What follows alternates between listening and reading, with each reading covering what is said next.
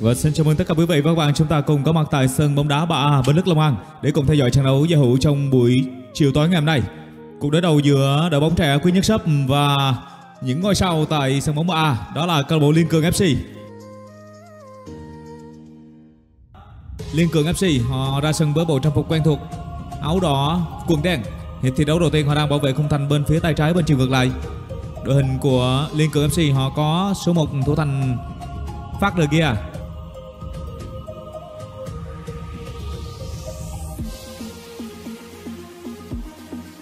Một bàn thắng rất đẹp dành cho các cầu thủ bên phía câu lạc bộ Quy Nhơn Sấp. Tuấn 97 là người ghi bàn. 1-0. Cú ra chân rất quyết đoán của cầu thủ áo số 97 bên phía Quy Nhơn Sấp mang về bàn thắng mở tỷ số dành cho đội bóng này. Xuất phát từ tình huống ném biên. Điểm khá quyết đoán đánh bại thủ thành Phát De Gea bên phía Liên Cường FC. Tiếp tục một cú dứt điểm từ xa quả đá phạt góc bây giờ dành cho quý nhất shop cú ra chân vừa rồi là của cầu thủ mang áo số 7 đó là Tam Beckham.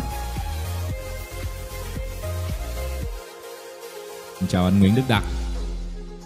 Một khán giả quen thuộc của kênh truyền thông bóng đá của miền Tây cũng đang theo dõi trực tiếp trận đấu này. Qua sóng livestream đây là cơ hội dành cho chiến lũy cú dứt điểm không thành công của cầu thủ áo số 7 một pha cắt bóng khá hay của Tam Beckham. Chân trái. Và ra chân khá nguy hiểm nhưng chưa đánh bại được Phát Gia. Rất hợp lý.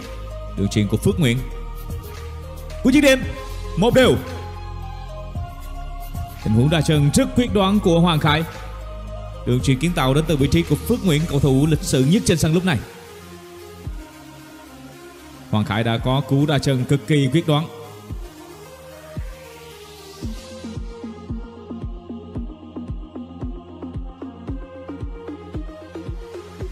Cú điểm rất quyết đoán của Hoàng Khải.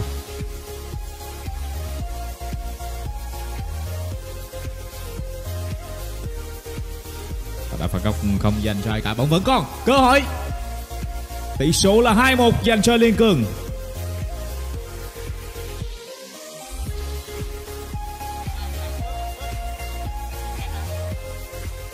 Người ghi bàn là Khánh Kha.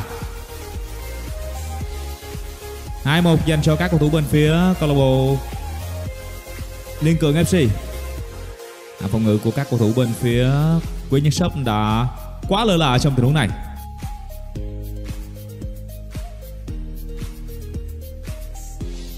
Lại có thêm một bàn thắng nữa dành cho các cầu thủ bên phía câu lạc bộ Liên Cường FC dành cho các cầu thủ đó.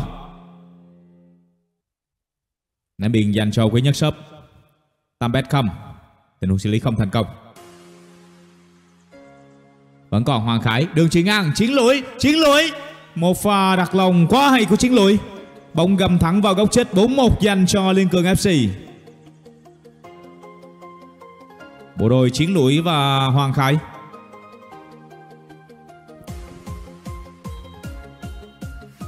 Đường chính đầu tiên là của Chiến Lũy. Ngay sau đó, Chiến Lũy di chuyển vào bên trong đón lại đường truyền của Hoàng Khải Và tung ra một cú đặt lòng đưa bóng về phía góc chết. Đường truyền là khá ý đồ. Vừa rồi thì nó đã không đến được vị trí của đồng đội. Cơ hội trở lại dành cho Quý Nhất Sốc. Tuấn 97 một xử lý không thành công của Tuấn 97 Kháng Kha phản công dành cho các cầu thủ đó. Đây tiếp tục là chiến lỗi của những điểm đưa bóng đi trên công dọc.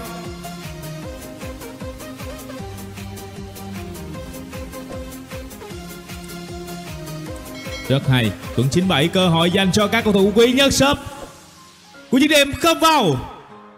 Không phải là đường truyền mà là của những điểm ngay của Tuấn 97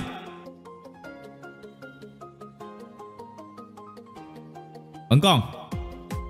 Thêm một cú dứt điểm nữa.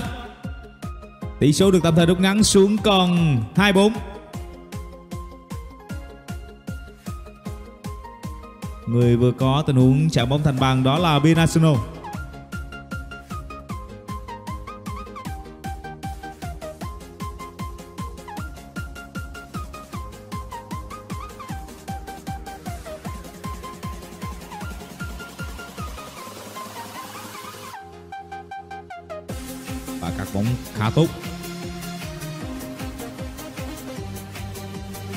Vọng của pha mắc gà là không thành công. Cơ hội trở lại dành cho quý nhất shop đường chuyên không vào. Tâm Beckham đã chuyển hóa bàn thắng thành cơ hội trong pha bóng vừa rồi. Cảm ơn Phong Thâu Tại CR7 ghi bàn thì sẽ tặng sao cho bình luận viên. Cảm ơn bạn.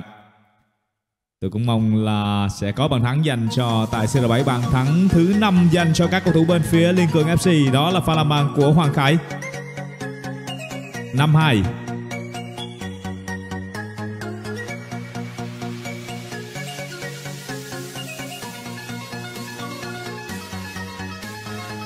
Tấn Ngày Ngô đang quá đáng tiếc dành cho cú dứt điểm trước đó của Hải Tâm.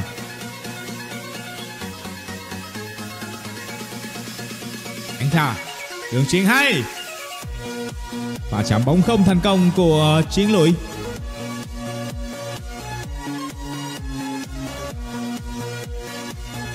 Và chạm bóng hơi thiếu cảm giác của khán khả Suốt chút nữa bóng đã đến được vị trí của Tam Beckham Vẫn còn Và vẫn tiếp tục đó là đường truyền đưa bóng về vị trí cộng 2 dành cho chiến lũy, nhưng số 7 vẫn chưa thể tận dụng thành công.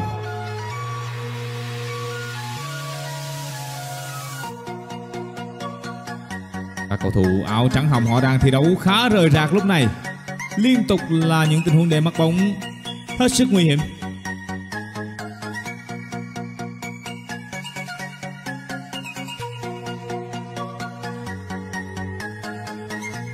Cơ hội dành cho chiến lũy.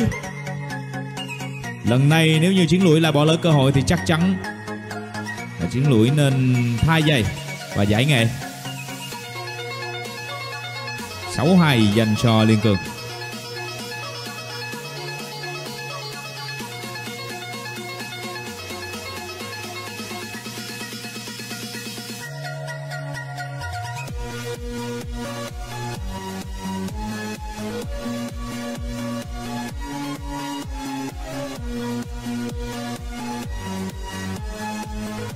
Vậy là sau khá nhiều nỗ lực thì các cầu thủ của nhân shop cuối cùng họ cũng đã có thêm được cho mình bàn thắng thứ ba.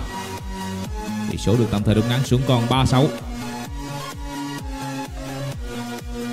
Nỗ lực áp sát ừ, đến từ vị trí của số 19 Binacional.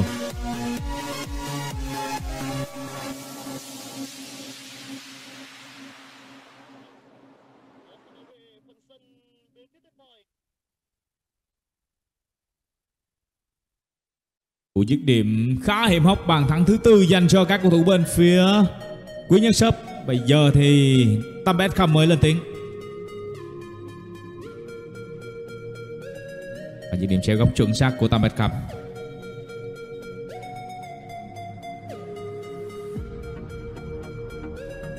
Sẽ là một quả đá phạt lên dành cho các cầu thủ bên phía câu lạc bộ Liên Cường FC. Đội bóng áo đỏ họ đang bị khựng lại trong ít phút vừa qua. Hải Tâm Beckham Không? Phải là một đường truyền, mà là cú dứt điểm ngay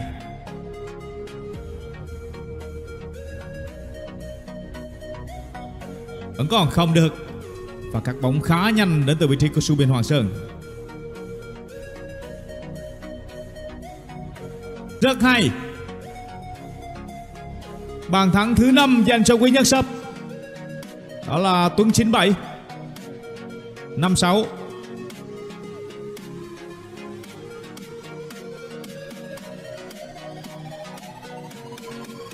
pha xử lý khá rườm rà, nhưng cuối cùng thì vẫn có được bàn thắng dành cho các cầu thủ áo trắng hồng. Như vậy, hiệp hai cũng đã được bắt đầu. Ở thi đấu thứ hai thì các cầu thủ của nhân shop họ là người giao bóng và hai đội sẽ không đổi sân. Cuối dứt điểm, vẫn còn. Xích chút nữa thì bóng đã đi vào lưới. Rất may mắn dành cho các cầu thủ liên cường. Cú đá chân của Bin Arsenal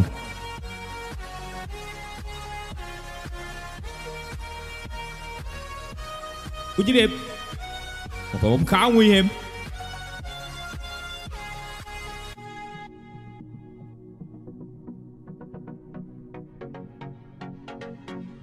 Hoàng Thái và xử lý bóng không thành công tại CR7 vẫn còn tại CR7 cú dứt điểm đưa bóng đi trên công dọc của cầu thủ áo số 27 Thành Trung. Đó là Thành Trung. Đường truyền không thành công của Thành Trung cơ hội trở lại, dành cho Quý Nhất Sấp Tình huống 4 đến 3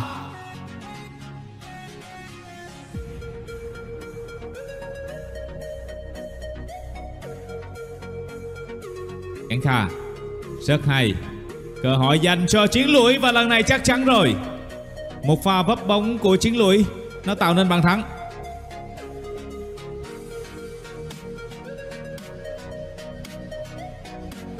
Đúng là trời mưa. Bạn của tôi đã mang cả một con rùa lên sân.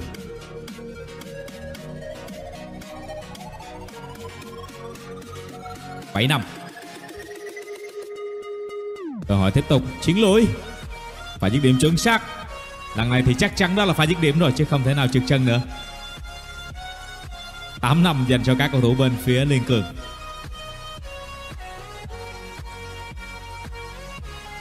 Đường sẽ bóng của Hoàng Khải dành cho chiến lũy.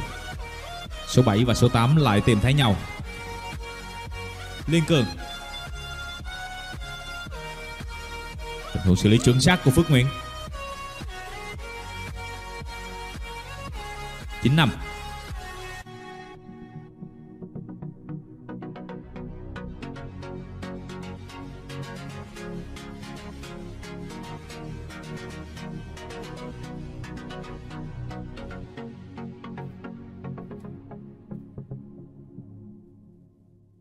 Chương 97 Của chiếc điểm khá nguy hiểm nhưng lần này thì Phát De Gea lại đang cho thấy sự xuất sắc của mình.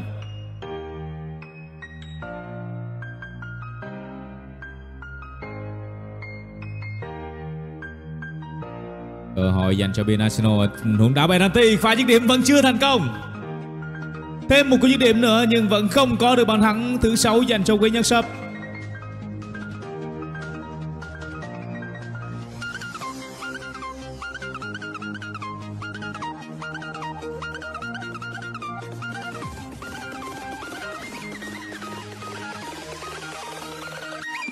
Rất hai Và xử lý tốt của tài CR7 Tam Beckham Và chạm bóng hơi thiếu cảm giác của số 27 Thành Trung. Và thu hồi bóng tốt của Thành Trung. Kháng Kha. Cơ hội dành cho chiến lưỡi Tiếp tục là cú dứt điểm.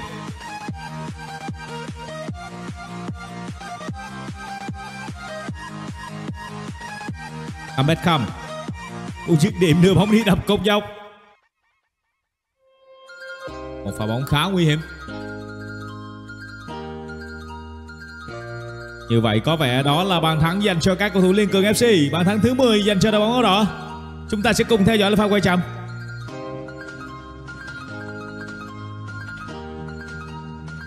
Như vậy đó là bàn thắng dành cho Kháng Kha. Một cú lấp bóng quá đẹp mắt của Kháng Kha.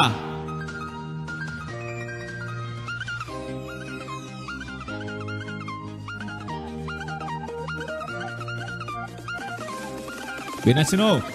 Bàn thắng thứ bảy dành cho Quy Nhân Shop một cú poker của bên Arsenal. Sẽ là bị bàn thắng thứ 8 dành cho Quy Nhân Shop tỷ số được tạm thời rút ngắn xuống còn 80 chúng ta sẽ cùng theo dõi lại pha bóng này.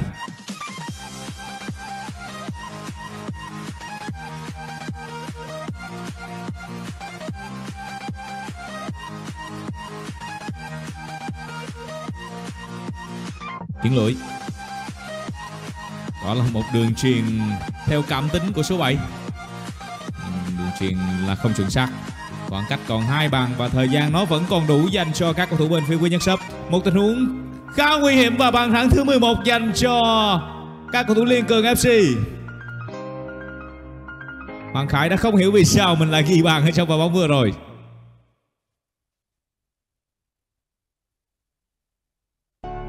Đúng là trời mưa. Trời mưa thì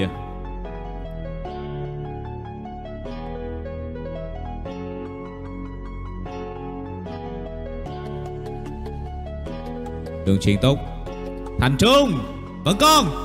Một đường truyền khiến cho hai đồng đội Đã bị gãy. Phước Nguyễn. Đường truyền không thành công của Phước Nguyễn. Cơ hội trở lại dành cho quý nhân shop Được chuyện hay của Tam không Tam không Có vào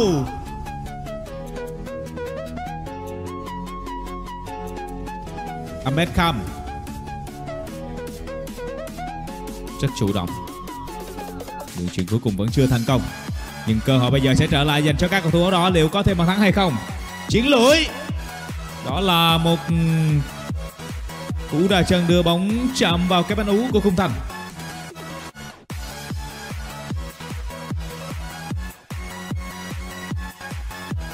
À, xử lý tốt của kháng kha vẫn là kháng kha. Cơ hội dành cho số 77 lần này thì chắc chắn là bàn thắng dành cho liên cường. 12-8 đó là kết quả chung cuộc của trận đấu này. Và solo hoàn hảo của kháng kha.